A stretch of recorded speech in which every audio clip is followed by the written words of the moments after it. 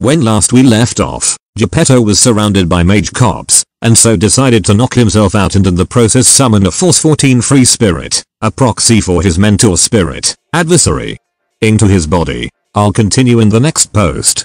Wildcard was surveying the news with his limited matrix connection. He had been following the special on DPI specialists uncover a black magician with dread. As he watched a dozen gunmen perforate Geppetto on live TV, then follow up with spells, that dread certainly did not abate. As the bullets in question blasted outward from Geppetto's frame in a greenish fireball of death, that dread continued to not abate and, in fact, increased. His eyes flooded black with the hollow nothingness that exists in the heart of a murderer. Geppetto took one look at the helicopter cameraman and then the feed abruptly cut out. Although the audio of a dozen men screaming in incredible, unearthly pain remained for about a half second longer. Wildcard sent Brianna a message. I think Geppetto may have just ended his career, Brianna. I'm still okay for now. Over and out. Wildcard recognized his mistake and began packing his bag again even before Brianna sent a message back. They're tracking me, dipshit. Ditch your hiding spot. Wildcard was out the door and on the sidewalk, making for the nearest metro station, within half a minute. With his mask and his duffel bag, he looked like Johnny Nobody, average salaryman. He calmly took the escalator down, approached the nearest maintenance closet, produced an autopicker and, pretending desperately like he belonged, slipped the autopicker into the lock. Jimmying the door free of the lock, he popped into the closet long enough to get a maintenance jumpsuit over his suit and then began working his way down the maintenance catwalks in the subway tunnel, making for the barrens, where he could split off into the abandoned tunnel sections. He felt around in his bag for his assault rifle, he'd need it, where he was going. Wildcard slowly walked the length of the sprawl from Renton to Redmond, just using the subway tunnels. Eventually he hit an old barrier, wooden chain link fence, mostly, between the abandoned subway tunnels and the active ones and a few minutes with a wire cutter and a hatchet from his duffel bag had him moving again, albeit through much less friendly environs. The tunnels beneath Redmond weren't as well mapped, and they saw overlap with the sewers, impromptu basements created by building collapses, and the odd bug spirit hive. Wildcard donned his mask and switched on the night vision, priming his smart link for action. Every once in a while his boots crunched on something that he didn't care to observe, and he had to avoid tensing up. Panicking was his worst enemy in a scenario like this.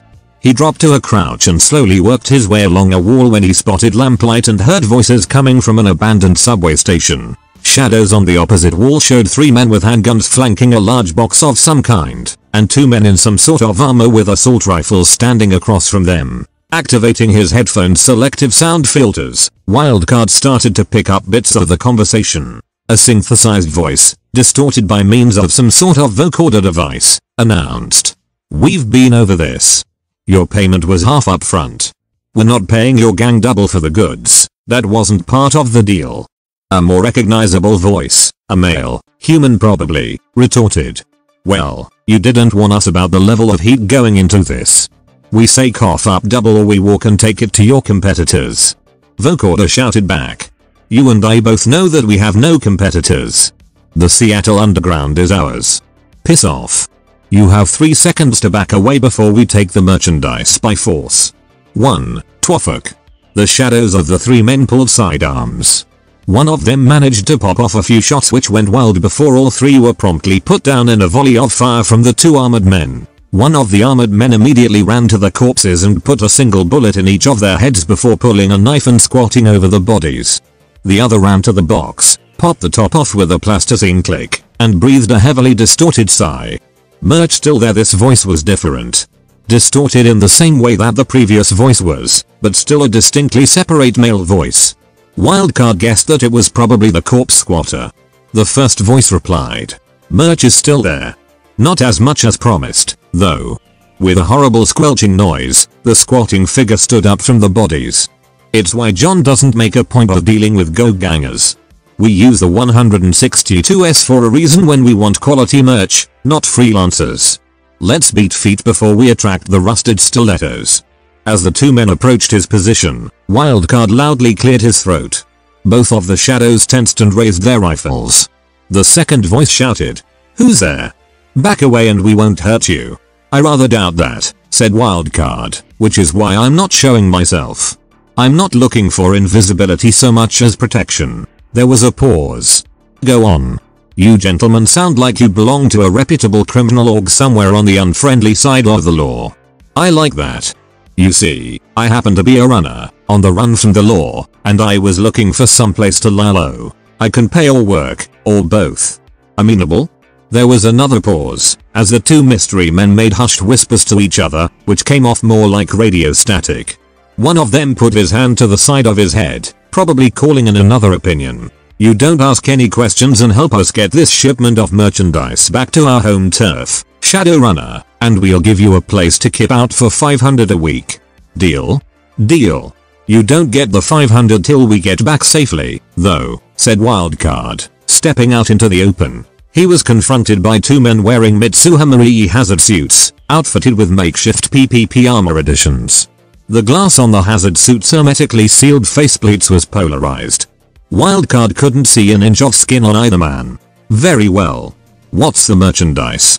Hearts, mostly, but we didn't get a chance to check. Wildcard gulped. Cow hearts? Guess again. It was about this point in the session that I was seriously starting to wonder if we were about to have a TPK on our hands.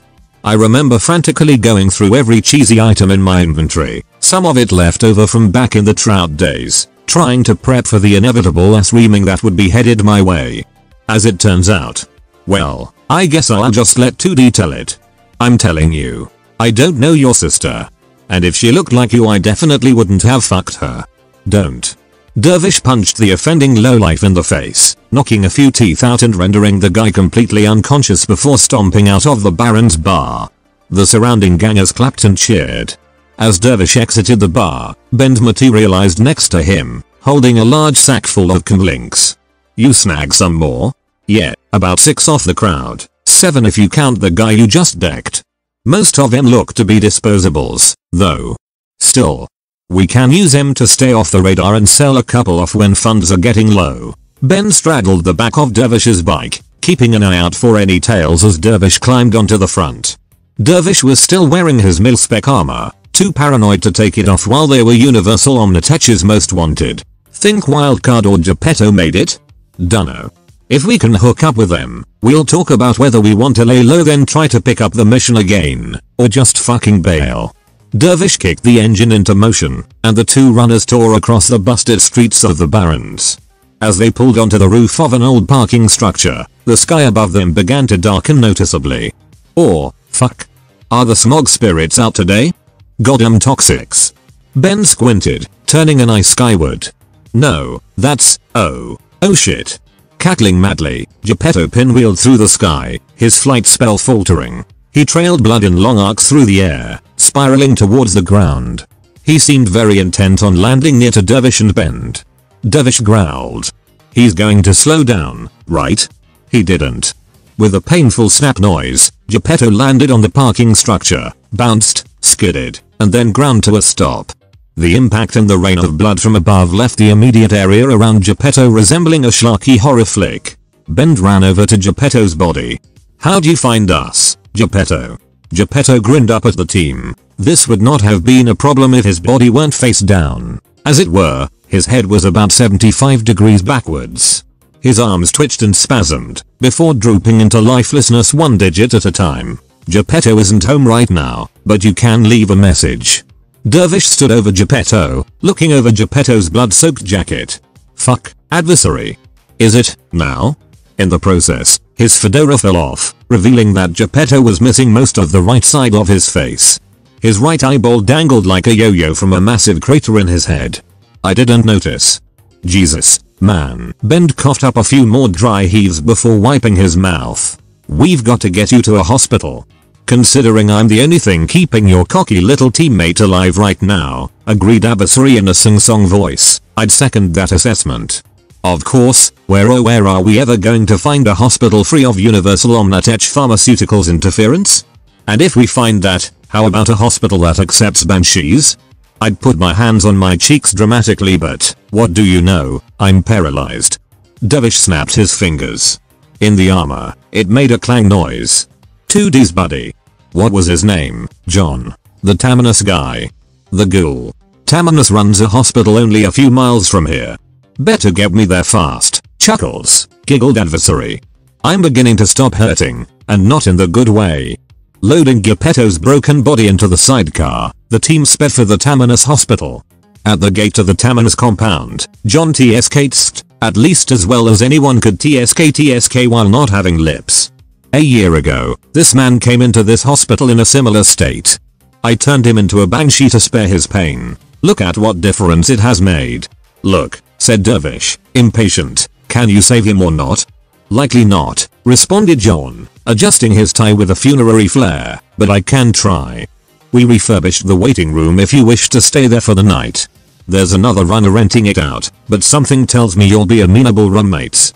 He could be a bounty hunter, noted Bend, unconvinced. John turned and began walking back into the hospital as two ghouls gingerly loaded Geppetto onto a stretcher. You'll work it out. Runner types do tend to get along with each other.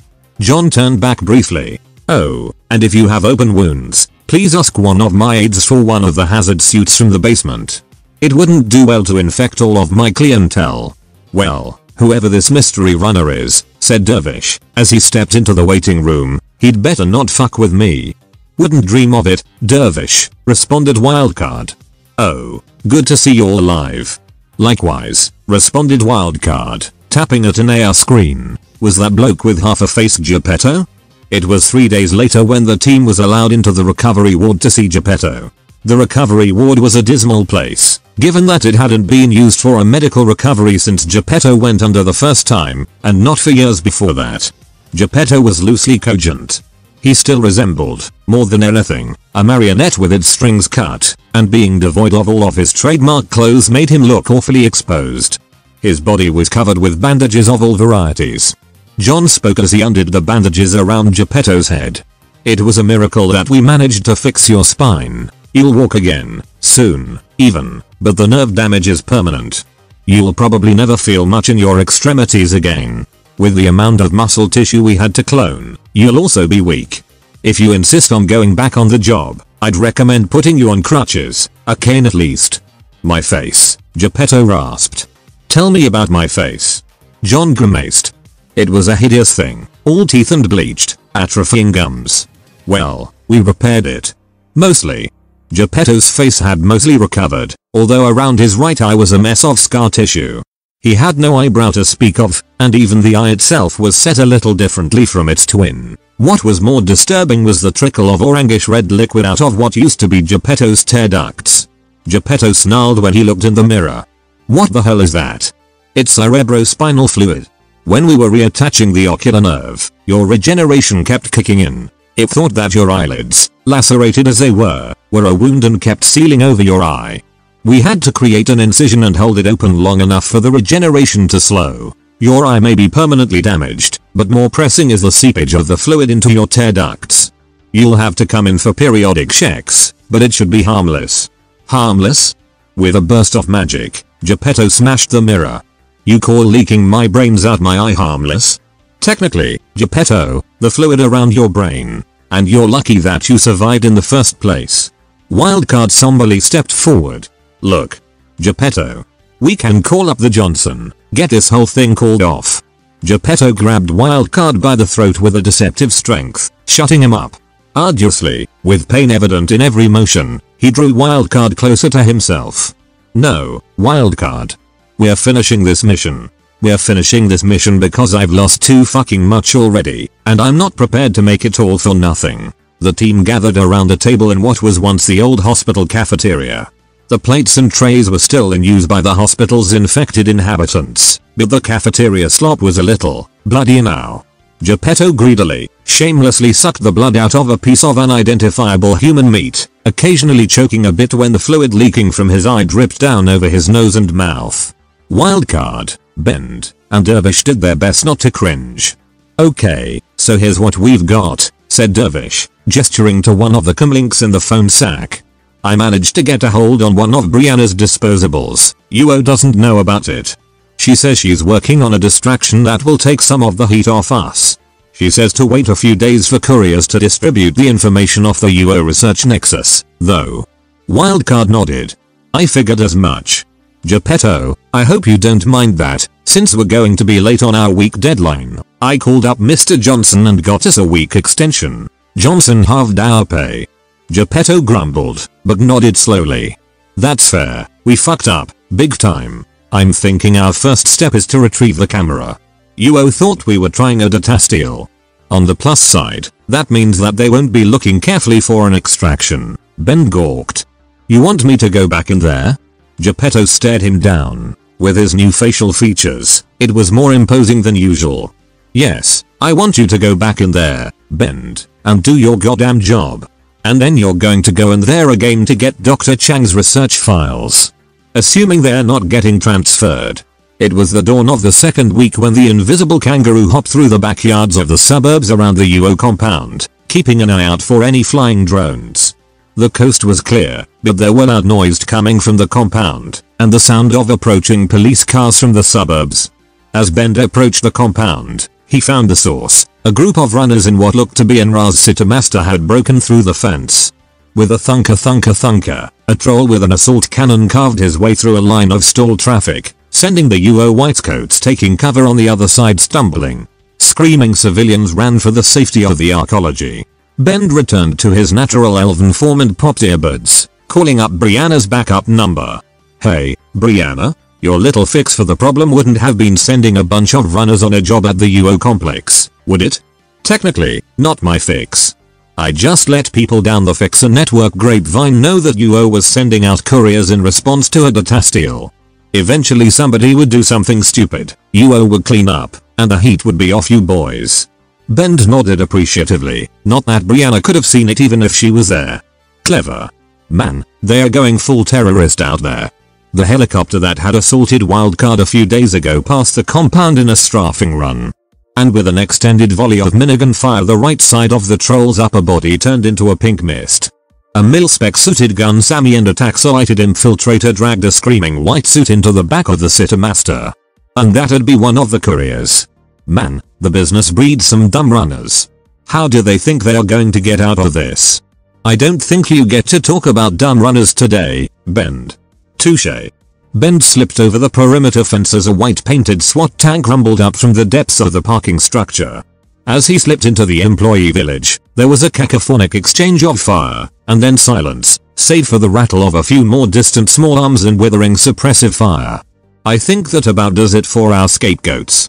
Lucky way to take them out, too. Scorched the bodies so they can't say for sure if we were in there or not. Although I'm not sure I approve of glorified human shield tactics, Brianna runner solidarity and all that. There's a lot you don't approve of, Bend. If you need any more help, call me up. With that, Ben's comms went silent.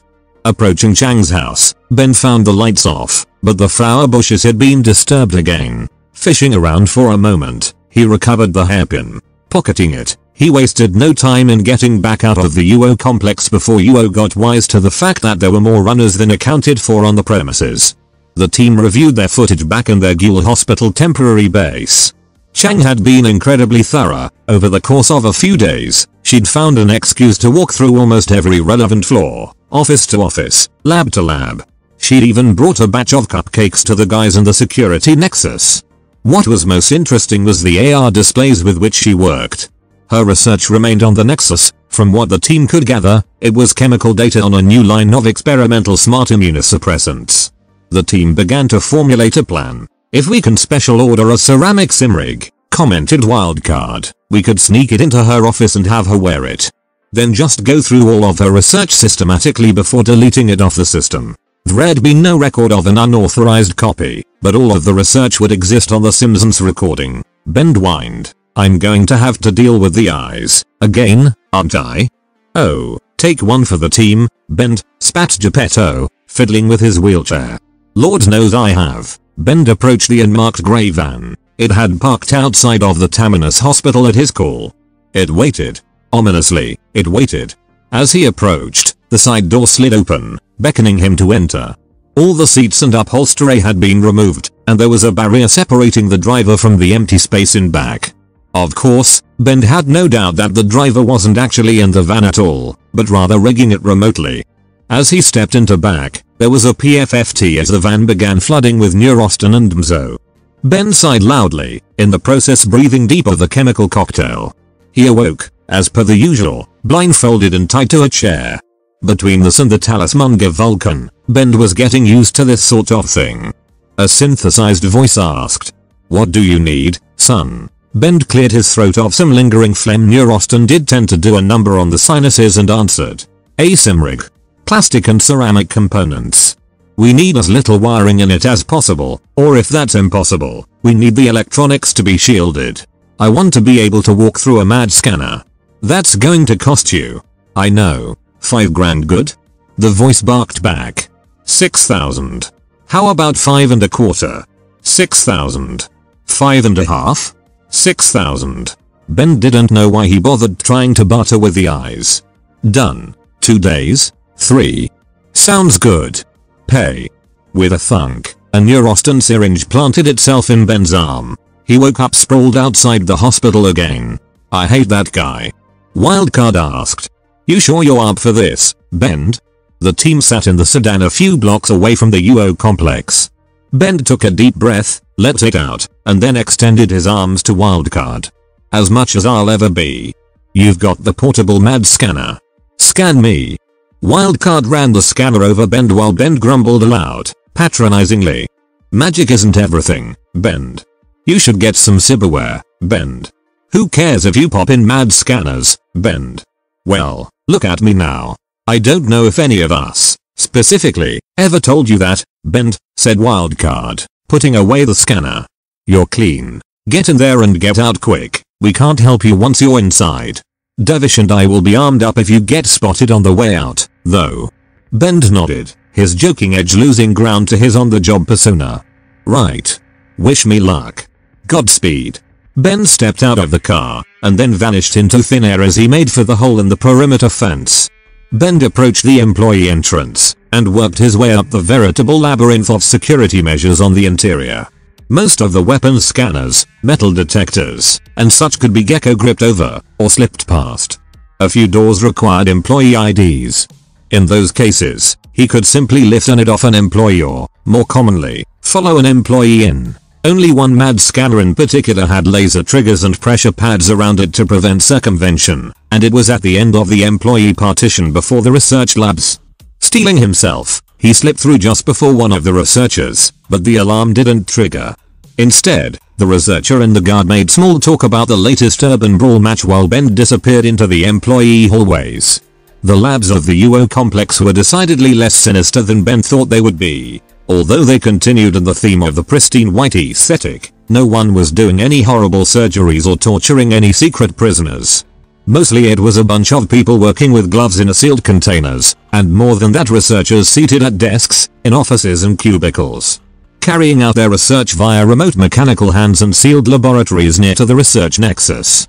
Even more were simply reviewing and editing research documents, the UO doctors were chatty and cliquish, often standing over each other's desks to talk about their latest accomplishments.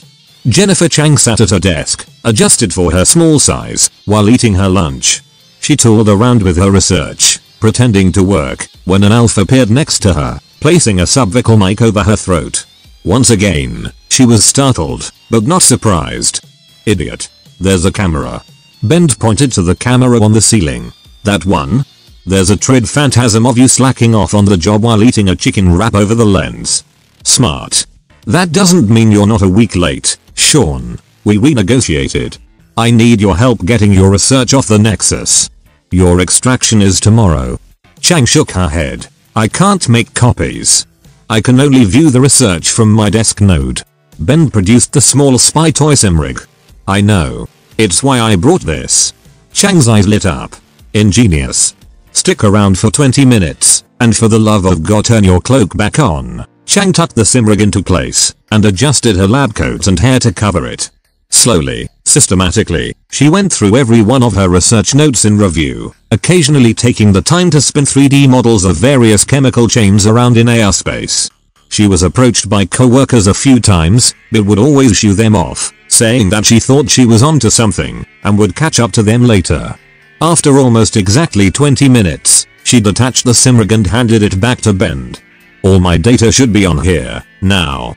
Where's the extraction going down? Keep your comlink on. As Ben disappeared back into the halls, making for the employee partition again, he tapped his subvocal and hit up wildcard. Wildcard. Stage 2. As Chang went down to grab a small dessert with her handlers, her comlink was hacked. A single message was left, which read, Hello, Dr. Jennifer Chang, and welcome to the exchange. As you head down to the mall, please take the escalator up and down twice before heading out. You will then receive a karmic reward. Back in the car, Dervish grunted at Wildcard. I still think this is a stupid idea. Everyone knows the exchange, Dervish. Everyone knows the exchange is weird as hell. How do you know her handlers will go along with this? It's free stuff. Hard to turn down free stuff. As soon as Bent verified that Chang did indeed take the escalator multiple times before heading down again, Wildcard used one of his scrap comlinks to buy 3 tickets to one of the latest late summer blockbuster shitfests. Congratulations, Dr. Chang. You have won 3 tickets to Suki Red Flower for the Half Moon Conspiracy. The exchange personalizes your karmic rewards based on your preferences. Have a nice day. Bent caught his last glimpse of Dr. Jennifer Chang, staring blankly at her comlink, as he slipped out of the UO Arcology. Dervish waited in the movie theater lobby. He had cut his hair short, had grown out a bit of a beard, and had his protective Siberi covers retracted, to avoid being an obvious match to Duck Steel, UO fugitive. Ben sat behind the three seats reserved for Chang and her handlers, not in his usual tactical gear but rather in his inconspicuous street clothes. Wildcard and Geppetto, the latter of whom was still very weak, were parked outside the theater in Wildcard's now silver sedan. She's not going to show, commented Dervish over the TACnet. Yes she is, Wildcard shot back. Never underestimate the power of free, greed short circuits the mind. Have you seen the reviews? It's the worst movie of the summer. Ben plucked up a few pieces of popcorn individually, eating them in the absolute wrong way to eat popcorn. Not to mention apparently there's a twist where Suki loses all her powers due to a negative background count, and then awakens again into a different tradition. Now, that's just offensive, commented Geppetto. These studios really need to have mages on staff when they write up shit like that. A 5 year old could tell them that's not how it works. You complain about this and I complain about the inaccuracies in every Fast and the Furious trid ever made, threatened Wildcard. Your move, gentlemen. There was a short pause. Geppetto snickered, daubed at his eye goo with a handkerchief, and turned to Wildcard. You've watched every Fast and the Furious trid? That wasn't what I meant and you know it. You have absolutely watched every Fast and the Furious trid. Dr. Jennifer Chang stepped out of the car, flanked by two bored looking white suits. She was playing up the devout fangirl angle to a T. I swear, back in Suki Red Flower 3 I swore that she loved Rex Carlson, but it turned out that she was really in love with Liu Peng, from that secret guild of assassins. Jenny, I know. We've been over this. Know that we're going to this movie as a favor to you. Jennifer sighed melodramatically. I know. Hey. Let's get a hot dog. I haven't been to the theaters in forever. Chang gave Ben a brief, knowing glance as she sat in front of him, before being flanked by her two guards. Bend nodded subtly, but kept his eyes on the screen. About 30 minutes into the movie, Ben stepped outside. He made a point of being louder than usual, making excuse me comments to the people on either side of him. About 6 minutes afterwards, Chang stepped out to go to the bathroom. Although one handler followed her to the bathroom door, Bend was already inside, with an invisibility effect on him, maintained by Geppetto. Activating his foci, Bend cast a body double effect on Chang. While the real Chang waited in the bathroom, Dervish began making a commotion in the lobby, screaming about a lack of sweetness in his frosted confection. With her bodyguard momentarily distracted, Chang stepped out into the lobby long enough for Geppetto to look in through the facade of the movie theater, sitting in the car. With a quick spell, he rendered her invisible. The body double stepped out of the bathroom a moment later, puppeted by Bend. It asked the guard. What's that guy's problem? I don't know, Jenny. I think he's diabetic or something. Let's get back into the theater. Bend paid attention to the body double long enough to walk it back to its seat, and then set it on a looping series of oohs, ahs, and popcorn munching. The real doctor stepped into the back of Wildcard's car, and was swiftly rejoined by Bend. As the ushers came running, Dervish also left the theater, returning to his motorbike. Dr. Chang leaned over to Wildcard. The rendezvous point is in Snohomish. Is this a fast car? Lady, you have no idea. After a surprisingly uneventful, save for wildcard's absolute destruction of the local traffic laws, drive, the team pulled up in front of a farmhouse in Snohomish. Two men in black suits carrying HK submachine guns opened the back doors of the sedan, and Dr. Chang conversed quietly with them before going inside the farmhouse. One of the men said, blankly, in an imposing fashion that seemed almost at odds with the content of his message. Mr. Johnson will meet your team for lunch tomorrow at quarter past 12 at the Nacho Mama near the Auburn Shopping Center on Main Street West. Geppetto blinked. Mr. Johnson is meeting us for fast food Mexican? He was in the mood. That's a little insulting. The guy turned around and began stalking back towards the house. That's not for me to say. Good day, sir. As the car pulled away, Geppetto growled. They were fucking with us. As though less than absolute perfection is insulting. Wildcard gripped his steering wheel tight, tense. I think they were within their rights, Geppetto. How? We did the fucking job, that's all they can ask. Wildcard turned to look Geppetto right in the eyes, and revealed. Their air feeds. All the text was in German. Geppetto took a moment to put two and two together. Oh, oh fuck. Dervish asked, over the TACnet. So, tacos with Saeder-Krupp? Ben nodded soberly. Tacos with Saeder-Krupp? Mr. Johnson was a strange sight. To keep within the theme of dressing much lower than his station, he was wearing a powder blue business suit with rumpled shoulders. Considering that Johnson himself was a man of impeccable handsomeness and poise, it was a little weird to see him snarfing down a burrito at a fast food Mexican restaurant. Gentlemen, I heard you had some minor setbacks. Ha ha, said Geppetto glumly, sliding into the booth after putting his crutches aside. I laughed. You know exactly what happened, Mr. Johnson, noted Wildcard, while punching in an order for the works nachos on the table's AR display. And we're prepared to accept half pay. We did get Chang out as ordered, though. Yes, and you needed to pull in a time extension and, correct me if I'm wrong, a lot of favors, counted Mr. Johnson, with a smile. His statuesque face was marred by a little bit of shredded cheese stuck on his lip. Consider this you boys wake up call. Johnson brought out a cred stick with 50,000 million on it, and gave it to Wildcard, before forwarding half of the expense account to Wildcard's comlink. But you still did a good job in the end, so I'm prepared to make you an offer. Geppetto looked at Mr. Johnson suspiciously. Oh. Your fixer is just getting into the big leagues, and I'm a very important Johnson. I can pass word around, let everyone know that you and your guys are up for the big stuff, and she's the way to contact you. I'll vouch for you personally on the Johnson networks. You might even get rich out of it. What do you say? Wildcard nodded. That sounds quite amenable, Mr. Johnson. Ben nodded, although less swiftly than Wildcard. Yes, I agree. I hope we're professional enough for it. Dervish grinned at Mr. Johnson. Hell, I've been waiting for a big break since my first milk run. A mutual good-natured laugh sounded around the table. Geppetto stood up, a thin smile on his lips. Get a new mage, you suicidal fucks. I quit. With that, Geppetto retrieved his crutches and began slowly making his way out of the Nacho Mama. After about a minute of stunned silence, Johnson asked, Who's gonna eat his taco? Shadowrun story time 15 end. Geppetto's face when. You know, I was actually really worried for Geppetto in this one, although he came back almost stronger, you know, it was, it was whenever he was sitting talking to Ben, it was, it was unusual though. It, it, it, felt like there was an awful lot more going on there than was shown. You know, it felt like there was more under the surface. But no, it's really good to see the team like is doing really well. But they're growing up in the world, and things are getting more and more dangerous. And you know, even if Dervish is thinking like, you know, this could be a party wipe here, like, you know, I'm I'm getting to a point where I'm feeling a bit too invested, and I don't want it all end, sh- end in a little shit show, you know. But then again, that's Shadowrun, isn't it? Like, you know, it's a very hyper violent universe, and it's got that very dark and gritty feel to it, you know.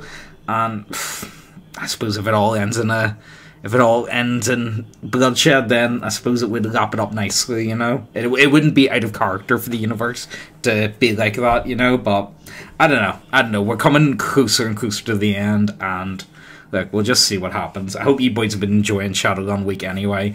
I'm away on holiday at the minute, so look, I'm sorry. This is the best. If you're not into Shadowrun, I keep saying this. If you're not into Shadowrun, sorry about that, but I'm sure if you're listening to this right now, you more than likely are into Shadowrun. So not bad. You get a lot of Shadowrun this week, which is pretty cool because I love this story. But look, guys, I'm rambling. So look, um, as always, links down below.